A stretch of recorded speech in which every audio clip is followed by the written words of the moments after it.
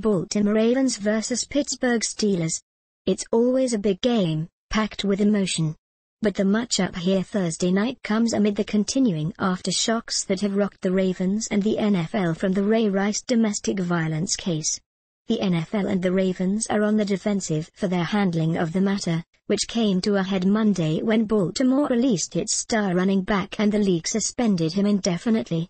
The moves came hours after a video posted on TMZ.com showed Rice knocking his wife out inside an Atlantic City casino elevator in February. But the NFL schedule moves on for a primetime matchup of rivals from the AFC North. For any teams, a short week of practice presents the challenge of getting over the aches and pains of the previous game and putting in a game plan.